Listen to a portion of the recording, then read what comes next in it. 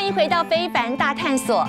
台北文山区有一家海鲜小馆，老板对食材的新鲜度非常坚持，所以店里的海鲜都是自己亲自到基隆康妈店采买回来。招牌的沙姆麻油面线，经过了老姜跟麻油爆炒，沙姆的蟹黄很饱满，而且肉质非常细腻，吃了相当暖心。还有这道人气很高的芋头透抽，炸过的芋头搭配 QQ 的透抽，巧妙的组合，吃起来。香酥，口感不油腻。老姜或者麻油爆出阵阵的香气，为沙姆麻油面线添了一份暖意。九口鲍鱼个个精挑细选，个头硕大嫩而 Q 弹。因为它这边海鲜都蛮有特色的，而且都是很新鲜的，都很老爱。客人大口扒蟹，大口吃鱼，吃得津津有味。丰富的海鲜飨宴出自老板王志晃。从小在瑞芳鼻头长大，跟着爸爸讨海生活，海鲜怎么挑怎么吃，他了若指掌。现在在台北开的餐厅，每晚的基隆他妈定都能看到他的身影。凌晨一点，基隆他妈定下起阵阵大雨，还是教不习王志晃自己采买鱼货的原则。哎呀，哈哈，这饭了。哎呀，朋友好听呀。因为那是算北部的最大的鱼市场，呃，从东北角、北海岸，还有本地的基隆，都是在那边做买卖，所以那边鱼类种类很多，品质可以顾得到是重点。因为你一样的。一样的钱，当然要买比较好的东西。对，所以品质还是要顾。顾品质，挑选活蟹，每一只都得严格把关。注意它的成不成熟，注意它的卵成不成熟。穿螃蟹的屁股，如果红一点的时候，它的蛋比较成熟；如果绿一点的时候，表示它蛋还没有成熟。对海鲜的认真和龟毛，一开始连饭商都看不下去。一样会是被人家谢谢干吗？那就是说，你要不要？你到底要不要买？会很凶，这有时候鱼贩会很凶，他们觉得说，哦，你很啰嗦，看买一条鱼那么啰嗦。这样的谨慎，二十多年来也让他和范商培养出默契和信任感。交谈、寒暄、聊天这样，当成朋友这样。他久而久之的时候，都把你当朋友，这比较好的货会留给你。有了好食材，料理的工序同样不能马虎。凌晨采买回来的沙姆得先仔细清洗，那个内脏要清干净，还有它因为它是沙姆，会会有带一点沙，要洗干净。老姜还有麻油碰撞出迷人的香味，再和沙姆在锅里一块奔腾。哎，火候要控制得很好，如果你煮得太久，是螃蟹的甜分都跑掉了。焖的用意是让它。那个沙姆的肉会比较快熟。另一头，王志晃拿捏面线熟度，穿烫三到五分钟就能起锅。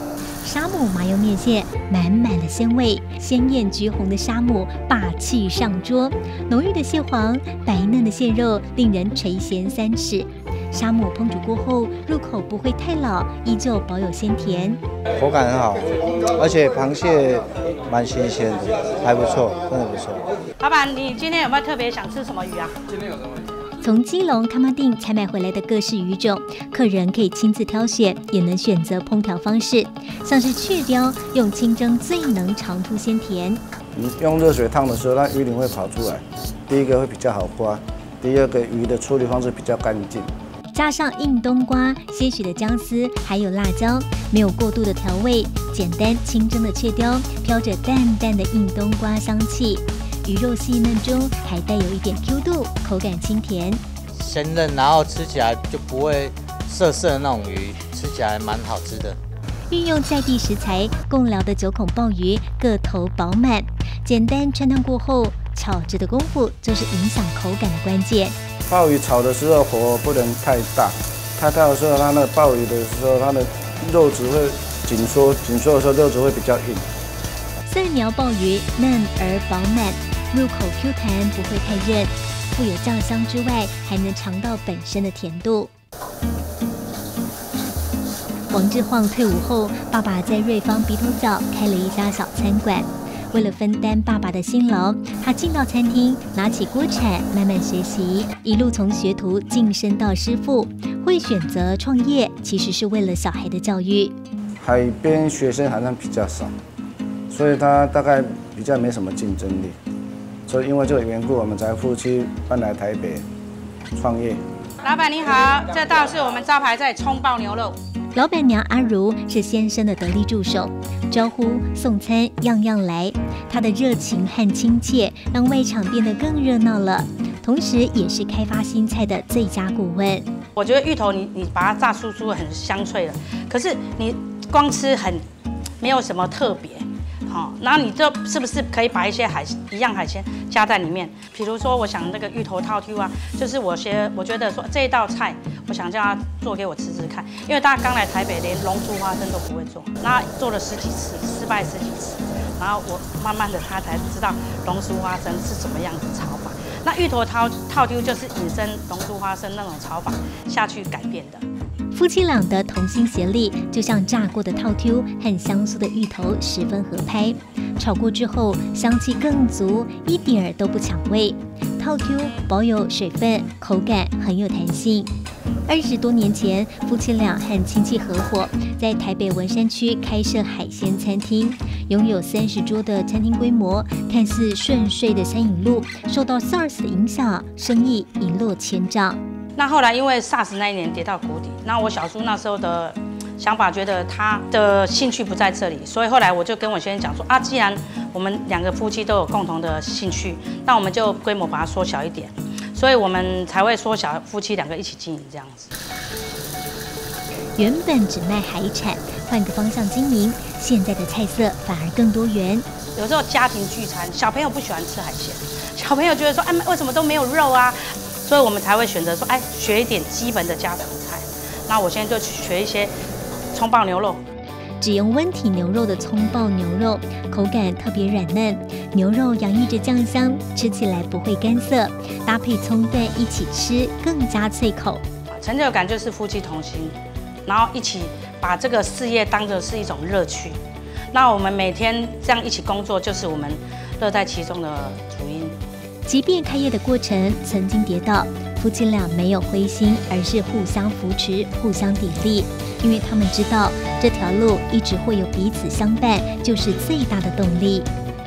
欢迎再度回到《非凡大探索》，年底又到了送礼的旺季。位于在彰化的民权市场，这里有一家经营了一甲子的肉干老店。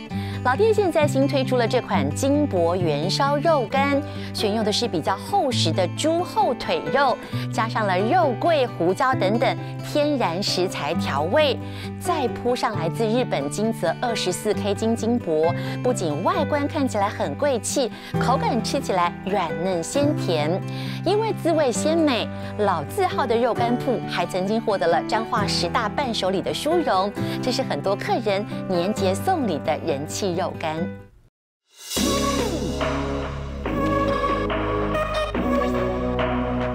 他们已经六十年，从我妈妈那个年代，她就在这个市场，然后像我小时候就是吃他们家的肉松长大。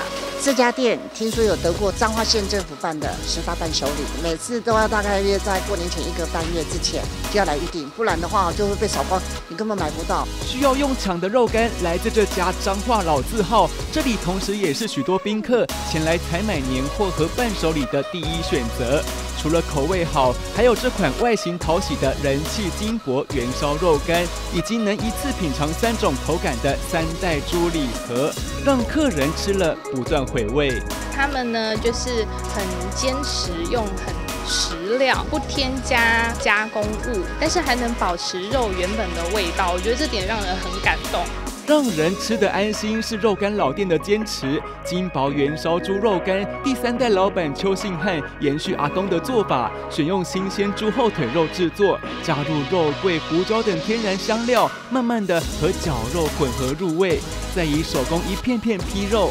而劈肉使用的竹台则舍弃白铁材质，选用能吸附油脂的竹制竹台，肉干吃来才不会油腻。因为本身白铁它就没有毛细孔，它也没办法抗粘连。可是用竹台，它还可以吸附肉干本身的油脂，所以我们品牌做做出来的肉干基本上是完全不会有油腻感。除了竹台会影响口感，皮肉的厚薄度也是美味的关键。控制每块肉的厚度大概在零点六公分，因为如果你太厚的时候，我们在做最后一阶段高温的烘烤，因为它温度非常非常的高。如果太薄，它容易烤焦，那吃起来的口感就会偏硬。对，那如果太厚，它会没有完完完全烤熟。每一步都要做到最好，就连猪肉干新添加的珍贵食材金箔也是精心挑选。